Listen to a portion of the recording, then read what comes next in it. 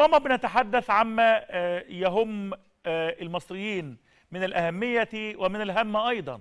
ولدينا بعد ساعات انعقاد جلسة مهمة في مجلس الأمن كيف تقرأ التحركات المصرية والدبلوماسية المصرية والجامعة العربية والترويكا العربية للتحضير لهذه الجلسة وكيف تقرأ المخرجات المتوقعة من هذه الجلسة؟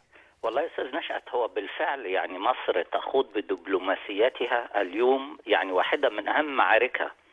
آه وأتصور أن كتيبة الدبلوماسية المصرية متواجدة اليوم برئاسة السيد سامح شكري في نيويورك معززة آه بدعم كامل من مكتب الجامعة العربية والسفير ماجد عبد الفتاح أيضا ومجموعة الدول العربية آه المشكلة في إطار اجتماعات مجلس الجامعة العربية الأخير وهي المملكة العربية السعودية والأردن والمغرب والعراق الشقيق ومكتب جامعة الدول العربية. يتحركون جميعا بنفس الاتجاه ودعم مشروع قرار قدمت عناصره مصر والسودان وتتداول الدول أعضاء مجلس الأمن في بنوده إما تعديلا أو تطويرا بحيث أن إحنا إن شاء الله نسعى في المقام الأول للوصول إلى قرار يساعد الأطراف. اولا يدعم في ديباجته حق إثيوبيا في التنمية وتوليد الكهرباء مع الحفاظ على حقوق مصر التاريخية في مياه النيل والسودان.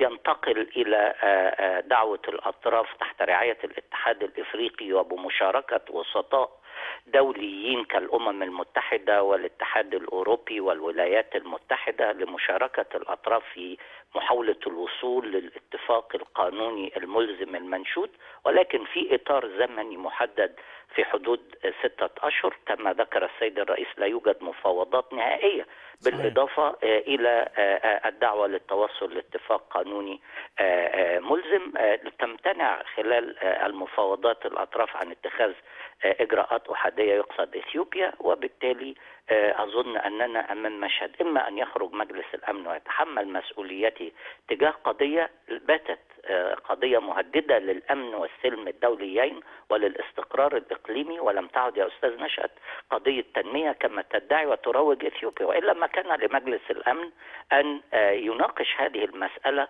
مرتين خلال عامين وأنا أظن صحيح. أننا أمام يعني مواجهة دولية بامتياز تقود إن شاء الله إما للخروج بمشروع القرار وده المستهدف الأول أو ببيان رئاسي وده ربما يكون أقل أهمية ولكنه يظل يحتفظ بكل مخرجات القرار ومضمونه.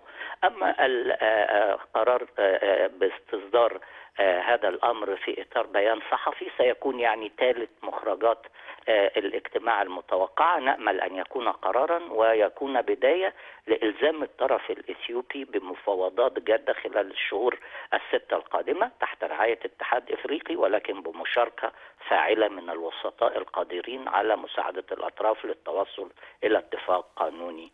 سعادة السفير حضرتك تفضلت أنه أمامنا ثلاثة مخرجات إما بيان إما مشروع القرار قرار وإما بيان رئاسي.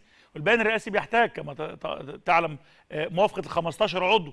والافاده الصحفية في الآخر دي بالترتيب حسب الأهمية. بالفعل. ما مدى إلزامية كل مخرج من هذه المخرجات للجانب الإثيوبي؟ يعني بكل تاكيد ستشكل ضغط أدبي ودبلوماسي رفيع المستوى من الجهة الأم المعنية بحفظ السلم والأمن الدوليين القادرة أيضا في حاله تجاهل قراراتها بناء على الفصل السادس من الميثاق الخاص بحفظ السلام والأمن والاستقرار في مناطق العالم المختلفة انتقالا للبند السابع من الميثاق والذي يملي ويفرض الحلول بالإرادة الخاصة بالدول الأعضاء في مجلس الأمن أي إلزامية التنفيذ. طبعا إحنا في القرار السادس لدينا توجه عام لدعوة الأطراف لمفاوضات تحت رعاية دولية. واثقين أنه لو تدخلت هذه الأطراف ستقود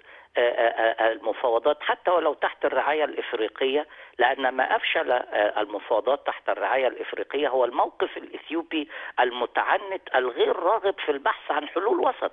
فكيف يمكن لك أن تتفاوض مع طرف ليس له سقف مع طرف موقفه التفاوضي غير واضح. يعني انت تتحدث عن 55 ونص مليار متر مكعب. هو لا يتحدث عن شيء من هذا القبيل. هو لا يتحدث عن قواعد الملء والتشغيل المحددة وال تدخل فيها أطر التفاوض الحالية وفقا لإعلان مبادئ الخرطوم 2015 يعني نحن كنا أمام مشهد قانوني نسعى فيه من خلال التواصل بين الأطراف الثلاث للتوصل إلى حل. عندما فشلنا ذهبنا إلى طرف وسيط آخر وهو الولايات المتحدة وساعات الإدارة الأمريكية برئاسة وزير الخزانة وبدعم من البنك الدولي للوصول لاتفاقية واشنطن فبراير 2020 والتي كانت تحوي تقريبا قبل الجلسة الأخيرة على مجمل التفاوض و90% من اتفاق تم الاستقرار عليه بما فيه الوفد الإثيوبي ذاته هو وفد يصل بك إلى نقطة التوصل إلى حلول ثم ينقضها.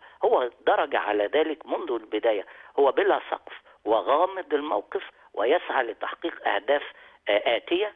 غير آنية ولا يفصح عنها عندما يتحدث عن مشروعاته المستقبلية. لنبدأ التعاون في هذا المشروع. الحالي وفقا لقواعد الملء والتشغيل المطلوب التوصل إليها حسب إعلان المبادئ. ثم ننتقل بعد ذلك لأي مشروع آخر لا يضر بمصالح دول المصب. سعد سفير بالأمس أعلنت إثيوبيا واختارت مصر والسودان بأنها قد بدأت بالفعل الملء الثاني. وكان مشروع القرار التي تبنته تونس نيابة عن مصر والسودان بيتضمن إيقاف الملء الثاني.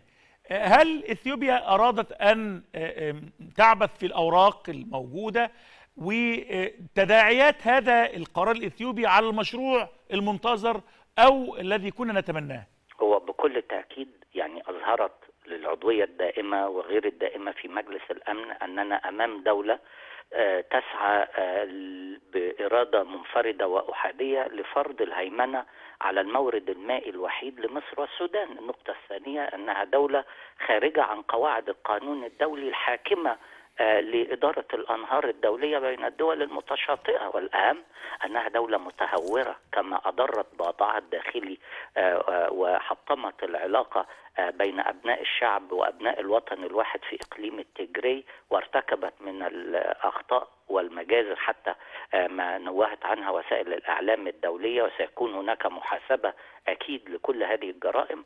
عادت الآن لتقفز إلى الأمام أي تهرب إلى الأمام من خلال تجيش الرأي العام باتجاه قضية سد النهضة. وبالتالي هي أمام العالم سبب من أسباب الاضطراب الإقليمي في واحدة من المناطق يا أستاذ نشأت التي لا يجوز التهاون فيها عندما ذكر السيد الرئيس في تصريح هام جدا أن اضطراب هذا الإقليم سيشمل الجميع. وأيضا يعي أننا أمام منطقة مجاورة لمضيق باب المندب مجاورة لخط الملاحة الدولية وخطوط صحيح. الإمدادات العسكرية والنفط وأمن الخليج إحنا أمام القرن الإفريقي وبالتالي اضطراب هذا المشهد من مسؤولية الآلية المعنية بحفظ السلم والأمن وهي آلية مجلس الأمن ومن هنا كان كشف الموقف الإثيوبي ولعل هذا التصرف يعني المتهور من الحكومة الإثيوبية ببدء الملء الثاني الأحادي. حتى لو كان الملء كما يتردد ضعيفا نتيجة أنه لم يستكمل أعمال البناء الخرساني في الممر الأوسطي ووصل إلى 573 متر فقط من 593 كانت مستهدفة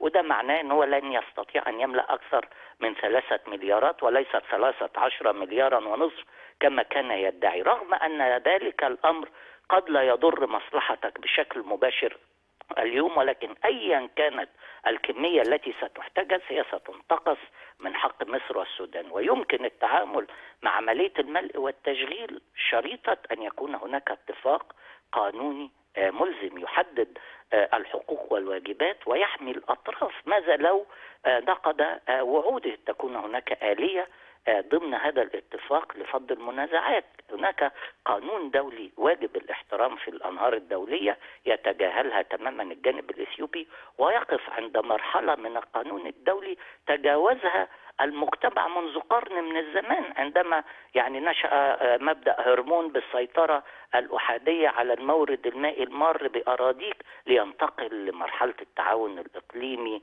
ولمرحلة الاتفاقية الدولية للأنهار عابرة الحدود. وكيف أن التعاون البند الثاني في الميثاق هو يدعو لرعاية الملف آه، المائي من خلال إطار من التعاون. يعني أنت تعلم آه، أستاذ آه، نشأت أن المياه هي هبة إلهية. لا. يجوز لطرف أن يحجر عليها وماذا أن تنمي وتضر بتنمية الآخرين؟ وبالنسبة لمصر هي ليست قضية تنمية هي قضية وجودية. بخ- يعني. حتى أن ميثاق الأمم المتحدة في المادة 51 ولو ماشينا مع القانون الدولي هو يعطيك الحق كاملا. للدفاع عن مصالح أمنك القومي آه، إذا آه، ما تضرر أمنك القومي ولحين اتخاذ مجلس الأمن قراره يعني أنت كدولة آه، تعمل في إطار القانون الدولي تتيح كل أطر المفاوضات والوساطات ومحاولة الوصول إلى حل. إذا لم تتمكن الآلية المعنية بحفظ السلم والأمن من حماية مصالح أمنك القومي من حقك أن تلجأ للحفاظ على مصالح أمنك القومي بالشكل الذي تراه مناسبا.